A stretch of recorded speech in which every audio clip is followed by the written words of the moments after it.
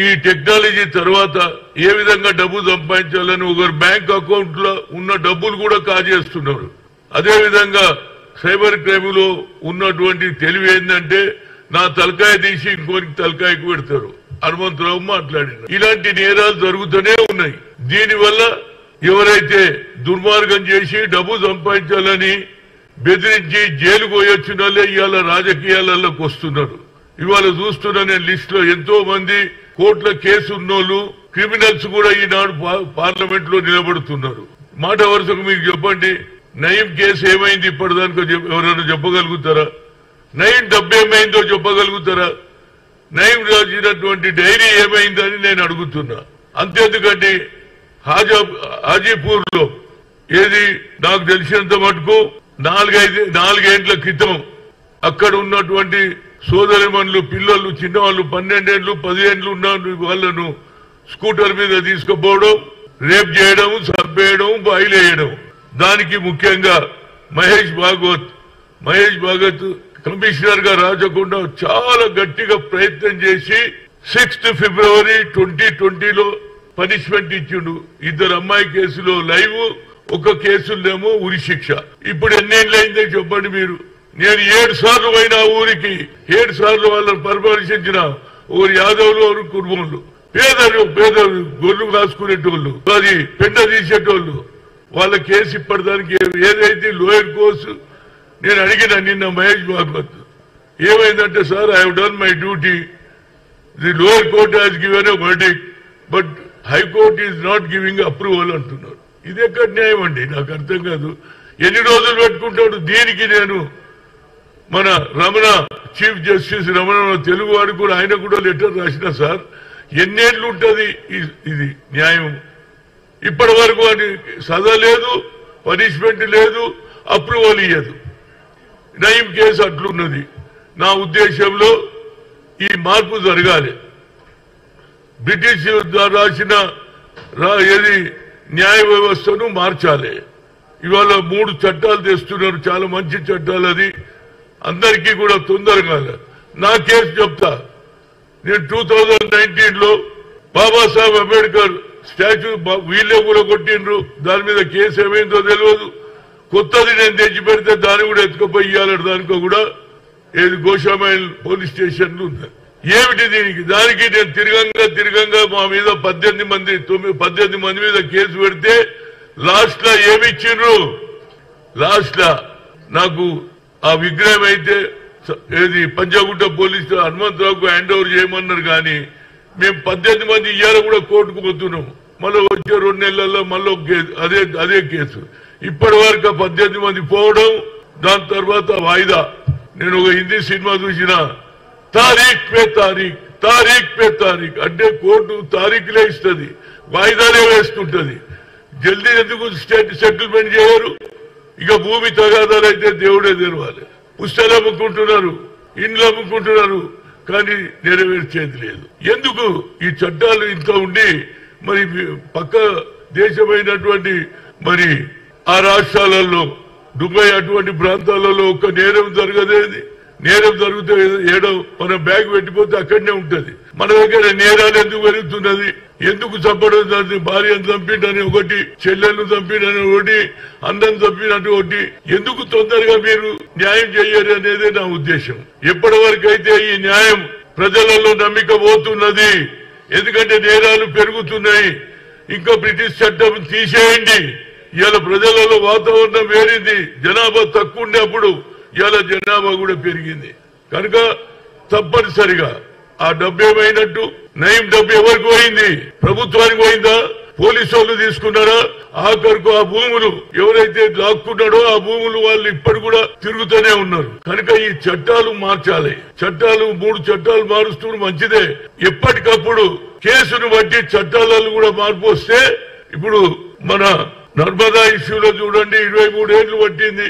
నర్మదా నది మీద పోతున్నటువంటి భూములు తీసుకుంటున్నారని ఆమె రైతుల పక్షాన కొట్లాడితే ఇరవై మూడేళ్ళు పడుతుందా? ఆఖరుకు నెగటివ్ వచ్చింది ఆమె ఎక్కడ వాళ్ళు హైకోర్టు సుప్రీంకోర్టు వాళ్ళంటే ఎప్పుడు తగ్గుతుంది? మనం పూర్తి జీవితం అంతా ఇడ్లు అమ్ముకోవాలి సొమ్ములు అమ్ముకోవాలి. కానీ వాయిదా వాయిదా నా కేసు కూడా వాయిదా వాయిదా. మా ప్రభుత్వం వచ్చింది నేను కేసు మన రేవంత్ రెడ్డి గారిని అడుగుతున్నా. ఇవి కావాలని పెట్టుకునే కేసులు కాదు. బాబాసాహెబ్ అంబేద్కర్ రాజ్యాంగం రాసిండు. ఆయన తుణుకలు తుణుకలు చేసిండ్రు. ఒక రోజు ముందు ఆయన ఫోర్టీన్త్ ఏప్రిల్ పదమూడు పన్ను పదమూడు పొద్దున చేసిండ్రు. దానికి కూడా ఇన్ని రోజులు పడితే ఎట్లా చెప్పండి? నేను అనేది ఇదే కాదు. దీనికి ఒక నా ఆలోచన ఉంది. ఎవరన్నా ఏమన్నా అనుకుని. ప్ర- ప్రజల ముందు అందరిని పిలిపించి ఆడ ముందు ఉరి శిక్ష తీస్తే ఇక అందరు భయపడతారు. అరే ఉరి పడుతుందా? ఏమైతుందా?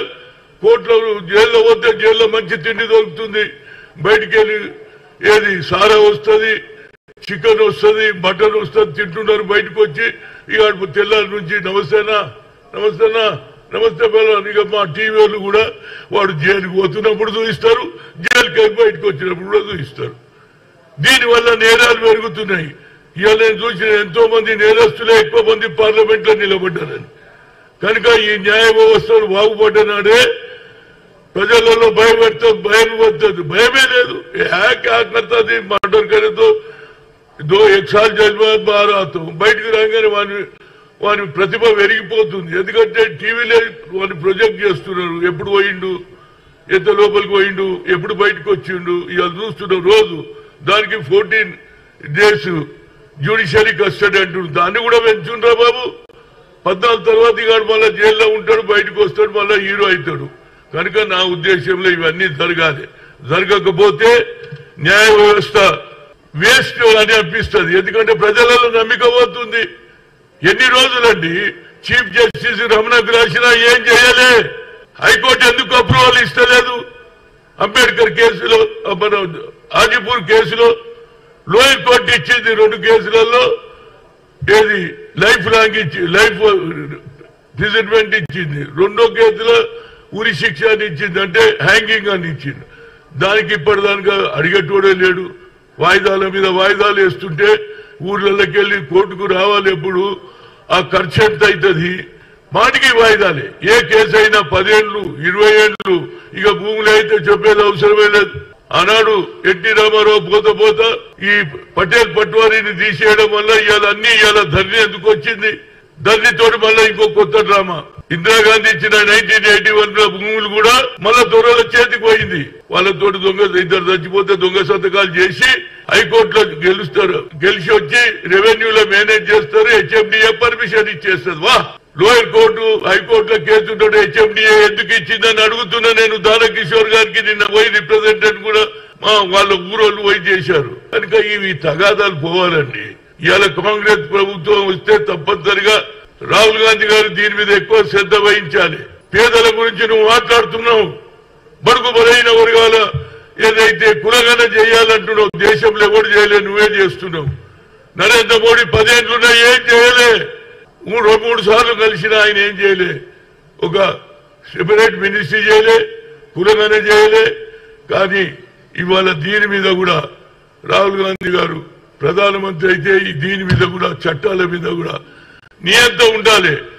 కేసు ఏదైనా వన్ ఇయర్ టూ ఇయర్ లోపల సెటిల్ కావాలి. ఏం డబ్బరమే ఏంటంటే ఎవడం పోతే ఇవాళ జడ్ సాబ్ లీవ్లు ఉన్నాడు. వాడు డేట్ ఇచ్చేస్తాడు. జడ్ సాబ్ ఎక్కడో ట్రాన్స్ఫర్ అయిపోయాడు. మళ్ళా డేటు ఇట్లా డేట్ల మీద డేట్లు వాయిదాపే వాయిదా వాయిదాపే వాయిదా అని ఒక సినిమా చూసిన వాడు సత్యదానిక వాయిదాలే ఉంటాయి.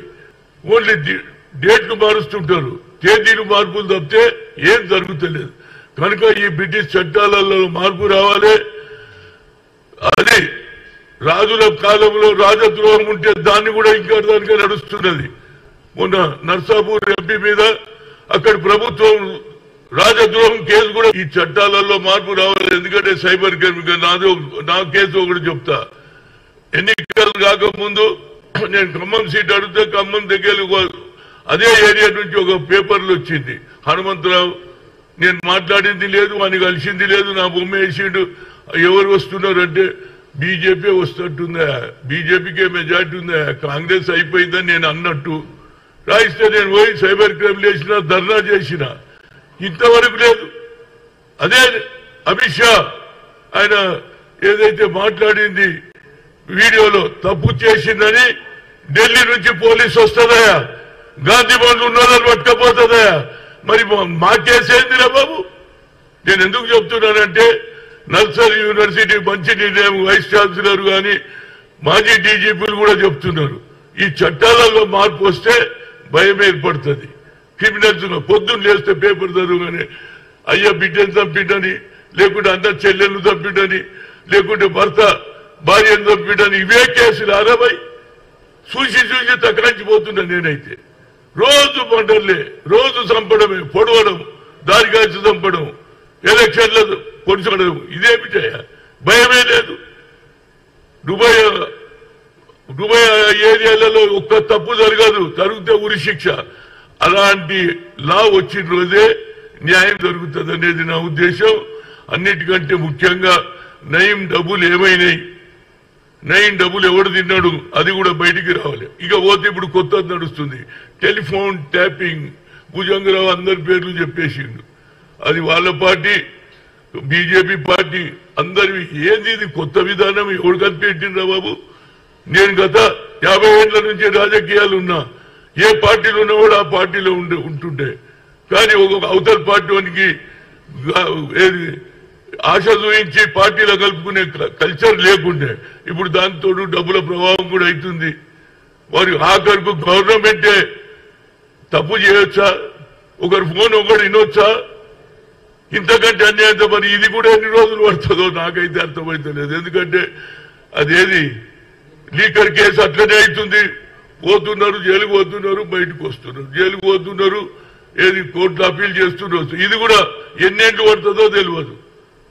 కేవలం మీడియా కూడా ఆ కేసు నడిపినంతసేపే చూపిస్తారు. ఇప్పుడు నయం మాట ఎవరన్నా అడుగుతున్నారా?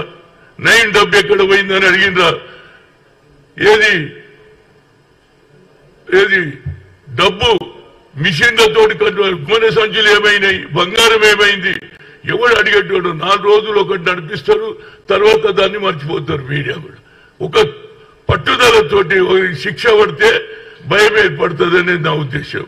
ఉరి కూడా తీయాలి ఎందుకు మన సిస్టమ్ మానవుతా ఎవడు తప్పు చేస్తే చంపేస్తే వాడిని కూడా ప్రజల ముందు నిలబెట్టి ఉరి తీసిన రోజు భయమైంది. ఆయా క్యా భయ్?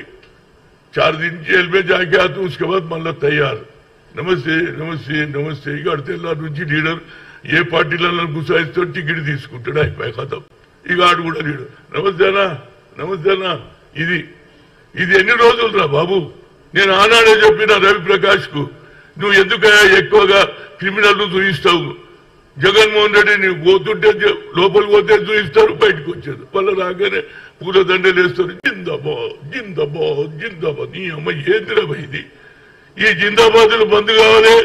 ప్రజలకు న్యాయం జరగాలంటే న్యాయ వ్యవస్థ ఖచ్చితంగా తొందరగా తీర్పు తీయాలి అనేది నా ముఖ్య ఉద్దేశం.